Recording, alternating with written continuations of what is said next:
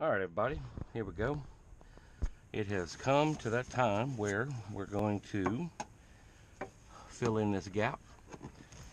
And I may not finish this up today, but I wanted to go ahead and get started and get a template at least cut out.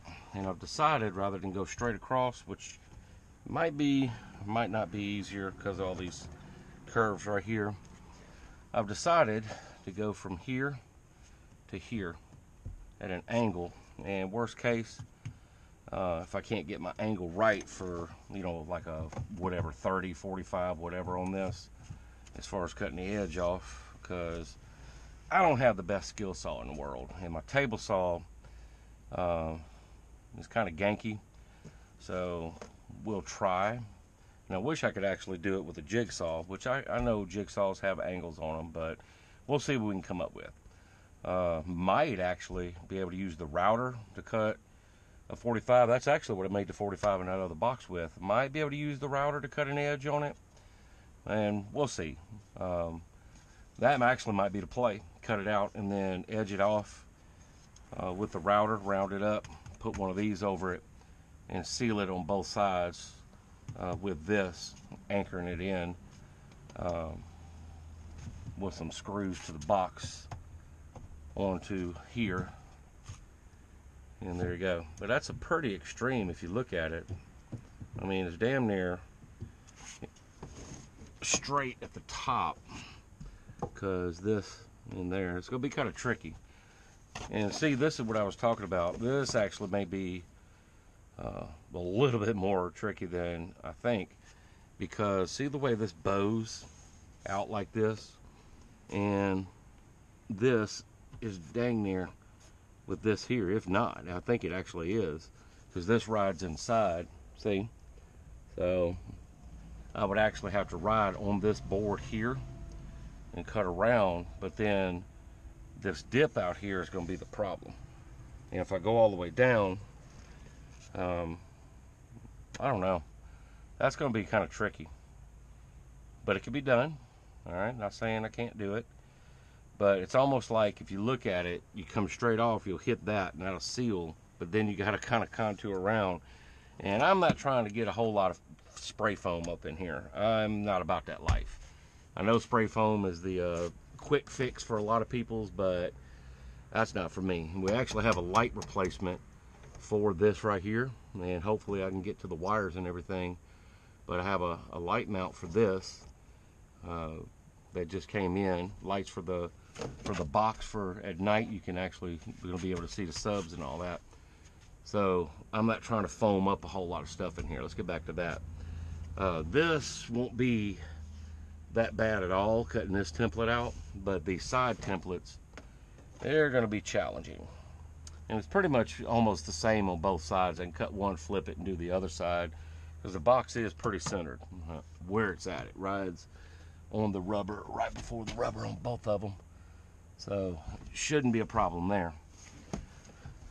Right here is going to be the issue where it flares. All right, everybody, a little update here. Uh, I cut my panel out after coming in here with a uh, cardboard template and kind of fiddling about with it to see how I want to do this because once again, I'm not trying to do a whole lot of foam. And as you can see right here, I got my curve wrong. And so we're going to cut this board again and use this as like a guide. And I found also where I was trying to contour around these curves in that, it's really not necessary so much. So when I get to this part right here where it kind of flares out, I'm just gonna ride that all the way down straight. As you can see, I think that's gonna ride just right.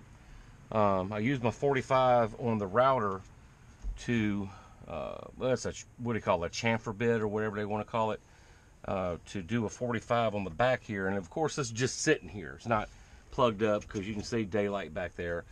But I believe I want to do this again because you see I did a round over this side, 45 on the other side, which kind of kind of made it look kind of funky. So I think if I don't do the round over here, do the 45 on the back, that'll close in on the first layer of wood because this is a double layer box. So the first layer, and then what I'll do is, before I do any of that, uh, 45 and all that, I'll just like round over that backside because I think I don't even need to 45 it at this point the way this is looking. and just round over so it'll come up close to it, but not this side. Just leave it cornered, and then do some uh, Kreg uh, bits on the back screws to go into this layer here, because really I'm not seeing this, you know, taking a whole lot of pounding, and I should be able to Kreg it and then seal it if I like what I see on the backside with some uh, silicone or liquid nails or caulking or whatever, even wood glue back here. And then if I still have some air gaps or whatever, you know, which is not going to be perfect, perfect, but it'll be good enough for my needs. And then like right here, if I need to after that, I'll skeet a little bit of foam. I just don't want to break open a can of foam to do something, one little spot or whatever. Or I might do the backside just on the wood, all right? But I don't want it to get messy. Uh, I want to get all of it cut out before we even seal it up like that. Uh, this right here has been a long while since I've actually made any templates like this. And the first time using this uh, to actually seal stuff because uh, normally I would just fill it up with caulk or whatever, you know, but this I want this to be a clean build. But initial impressions on how this is going to look, I think is going to be pretty nifty. And then here on the top, we'll uh, go all the way down to the bottom of this and follow this contour around here because the way this box is, it's going to be up in here. See how it kind of slopes? So that'll help us whenever we push up and I can actually have a little bit extra room up there uh, to push that up against here. So this will be riding here all the way in. Might have to shave some of this off, cut scissors and then bump it up and then it'll be riding all the way across here. And if I get this right, I'm dearly hoping that I can just flip it over, use that side for that side, which we'll do a test fit before I uh, finalize my cuts. And then hopefully I'll be able to just flip it, cut it, do the same thing on this side, uh, zip it up, and be done with it. Boys, once again, we in the thick of it.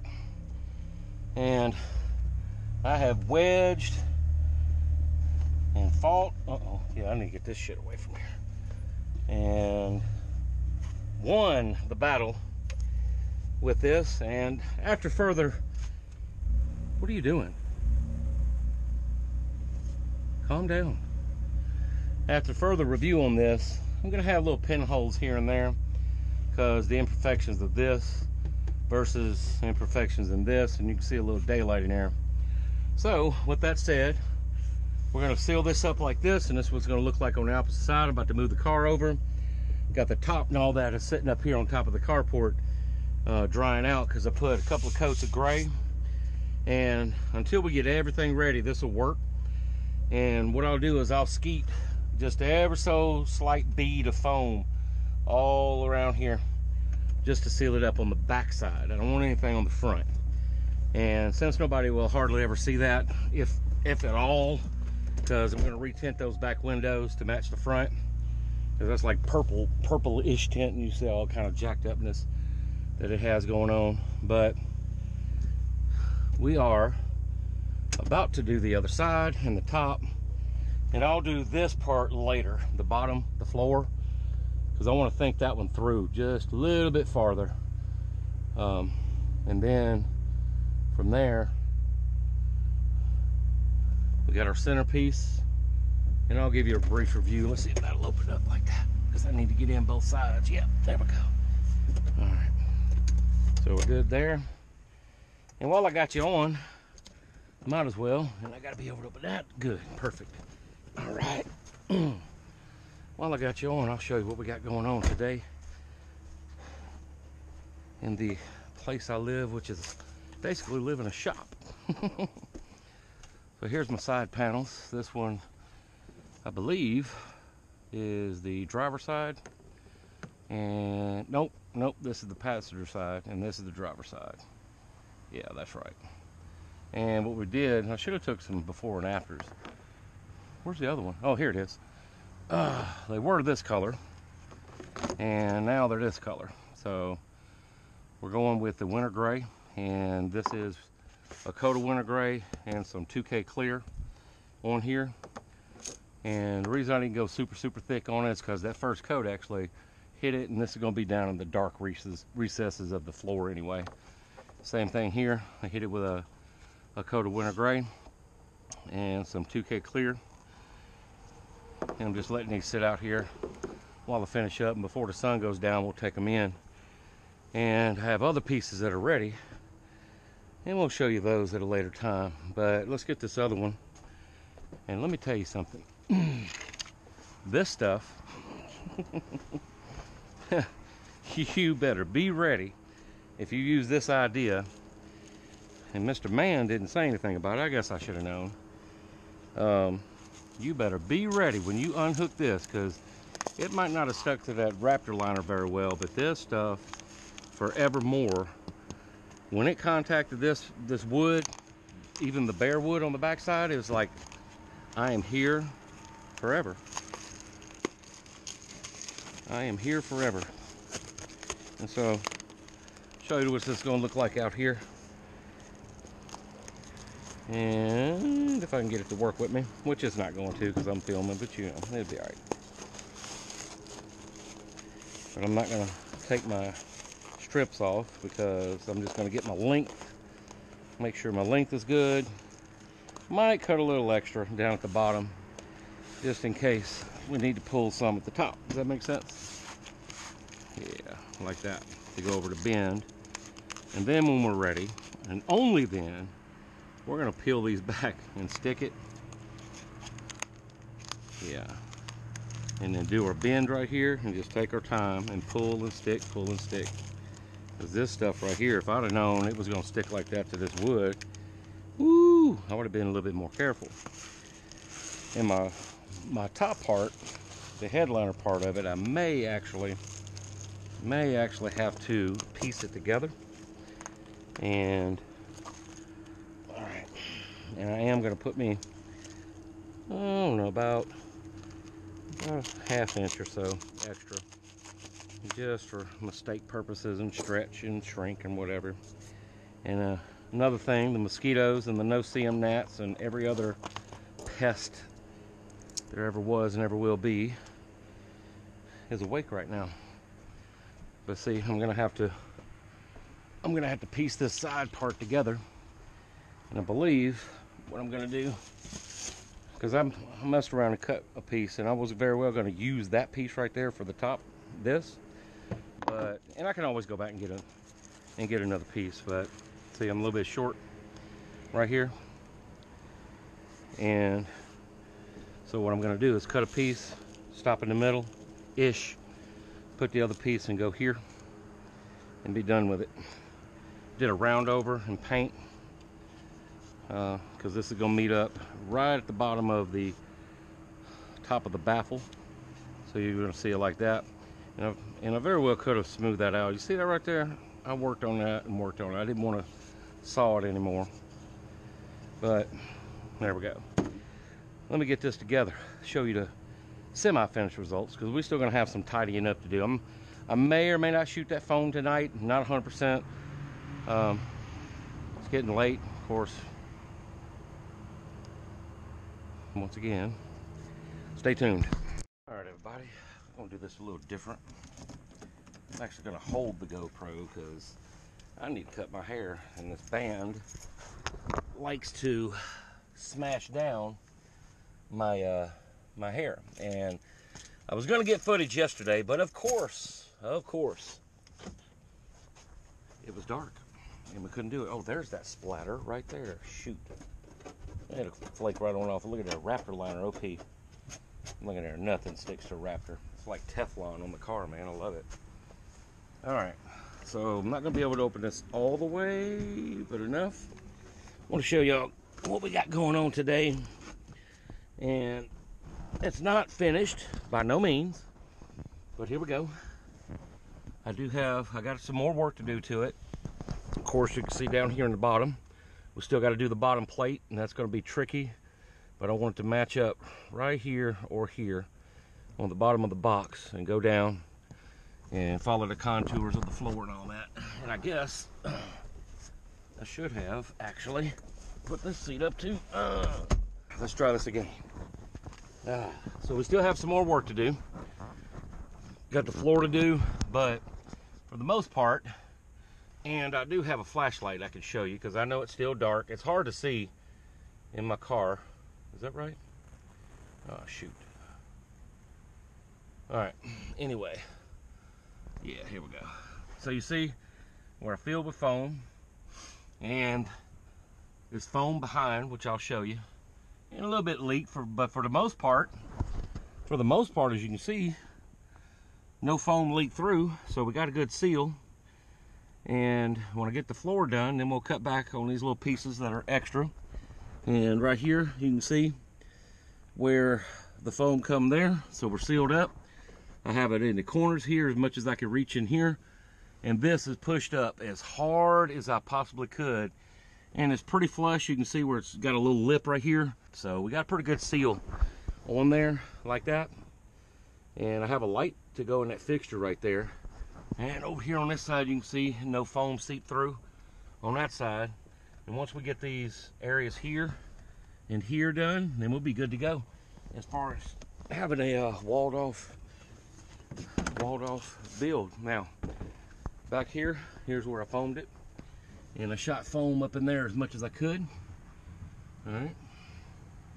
And I try to keep it clean, but you know, foam, it, it says no, no clean. And I'll get these little extra pieces off here like that. But this is sealed off. And I did Raptor this, and there's a reason for it. Time. Uh, and I think the winter gray accents that I have going on on the dash and the center console, um, it's subdued. If I take the light away, it actually blends in quite nicely with the uh, gray, the winter gray panels. Show y'all like that. And I don't know, but we'll try to get a, a wide shot of it like this and see what you can see over here and over there. And I think the gray panels actually look good. And also too, if I want to add stickers to these pillars, like if I want to showcase this, you'll be able to see the stickers. Now I am going to come back with these screw holes here and put some gray paint in a cup and go over those. I might actually wood putty those and then paint them to get it smooth because I want that to be clean. And I will be putting stickers up here across here. Probably my sundown audio, maybe a Down4Sound, I don't know, XS Power. But I'm gonna do most of my stickers inside of here. And then here, if I can find the template for it. Well, I thought that thing moved for a second. That's my, I'm tripping. Um, I want to put NX 1728. I think that would be awesome. Y'all get the reference? That's awesome. Uh, and then we have a few more things to do such as paint the carpet, get it, get some tough stuff and get that carpet clean, get some fabric and paint cleaner, and yeah, then we'll be almost done. So there we go. We'll have a look at the other side also and see how it's sealed up. As you can see, the uh, it got on the car some, but I wanted to make sure I had a for damn sure seal on this and this stuff peels away pretty good and then we can cut it back all right so there's that bottom sealed it up and then we're going to wait for that void there for whenever we do the floorboard and I know everybody's probably going to give me crap about not doing under here and back here but back here I have just enough room and I'm thinking I can finagle um, some fabric back here on top of this and lay it out and maybe put some stickum on it make it tacky to where I can lay a uh, fabric cloth over here if I can squeeze it in and then roll it out. You feel me? So that'll be hard but we can get it in there because this box ain't coming out. I mean it's in there. Check it out and over here where I was trying to keep it clean here here here I actually need to oh no that right there see this this screw and this screw broke out of the box. And I meant to bring the screw out here to show you, but anyway, the uh, I was wondering why it was getting a rubbing and kind of a like this when I was playing. I was like, what the flip is that? The box, the pressure of the, the bass blew the broke the screws. So I had to add a screw, screw, screw.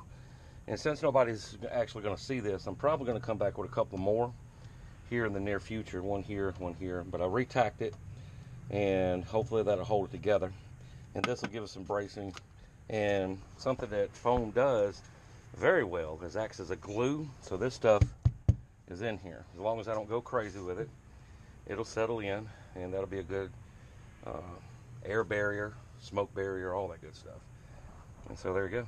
All right, so one more look from the front. And this will be the update for, we'll get this side. Let's have a look at the subs inside the box here. I'm gonna be adding lights. I have lights, I don't have time because I was tired, tired, so I slept in until about nine o'clock this morning. But here's the subs. And be a good thing for me to look at this anyway. To make sure my wiring is still good on everything, but we're gonna be adding lights to the box. And I'm thinking about the other two lights, maybe putting them down here in the low corners in the bottom. Or one down here for lighting someplace. Uh, and then one up here for main cabin lighting. And then I'm gonna put this one on a separate toggle switch so that I can just have lighting in the car. And there you go. And then use these other three for uh, show purposes. So yeah, we're getting there, boys. We're getting there. I got a few more detail things. Um, I think I may or may not have shown the uh, painting that I've done to the interior, but I have center consoles done, side flaps are done. I got to find my cup holder that goes in the main part in the very front. It goes up here in this spot. I have no earthly idea what I did with it, but once I pull everything out, all the other hardware uh, that holds the console in, we'll probably find it. And the armrest is the only other thing that goes here, the armrest. Only other thing, I'm not 100% if I'm going to put it back in. I will prep it, get it cleaned up, paint it, in case I decide to, and that'll pretty much be it. Uh, I'm going to hold off on putting the console in because I still want to paint this. I need to pop this out. And I want to paint this part right here, same thing as the winter gray here. This side, I may save for a later project. And of course, these side panels here, I want to take those out also and touch those up with some paint. So we still got a lot of work to do. And between, you know, five day stint of work, a day off to get everything that I need to get done, plus this project, it's just time consuming. But I'm trying, boys. I'm wearing myself out trying to get it done uh, so that we can actually do some proper demos. Now with this part right here, this is going to help tremendously with the project. And I believe, and I can already hear how it's, you know, this is now the, another chamber um, it's going to keep the, the, you know, the pressure forward and not leaking through the sides like it was before. So, and I used the birch on the sides because uh, I still had this, this much plus some scrap that's left over and I still got about another half a sheet and we're going to do the trunk with that. Since it is lightweight, uh, we'll cut out the trunk and get that going probably Friday. All right, so until then, I'm just going to let it ride. We're at a stopping point at the uh, with this build right here, and we'll get back to it with uh, lighting and the trunk, double run of zero gauge to the amp, and then the only other things from there are beefing up the electrical some more. Another Group 34 battery. I know everybody's going with lithium, but my car uh, is total electric. Everything on it's electric and I want to just keep it with regular batteries. And I'm not trying to go crazy with a million watts. And two Group 34 batteries plus the, uh, I don't know, what is it, uh, the Super Walmart battery, whatever, for running the car. It's going to be enough for me. All right, that's going to be plenty. And I keep all that clean. It's all in the trunk. That's where the factory stock is anyway. We'll run another run eventually of zero gauge from the front. Uh, that'll be two runs of zero gauge from the alternator uh, beef up the grounds and little things like that. So now uh, it's just working on detail. Plus, we still have to do the door panels, uh, which I'm going to take my time on the door panels because I have uh, an idea that I want to do with the door panels, but I'd like to actually find uh, uh, like a wreck or something to where I can get some other door panels to do that project. And I have some epoxy coming to fix this. Hopefully it works. If it doesn't, then I'm definitely going to have to find door panels. All right. So that's enough ramble. Still a lot of details. Still a lot. It never ends. Just like work. So let me get ready for that. I got to spin the car around. I need to get the O-scope out here. I'm going to reset my game because I didn't set it properly last time. And the the only thing, well, the only thing I didn't do is I didn't have my bass knob all the way up. So I need to rescope it and get that done before I go to work. All right. So here you go.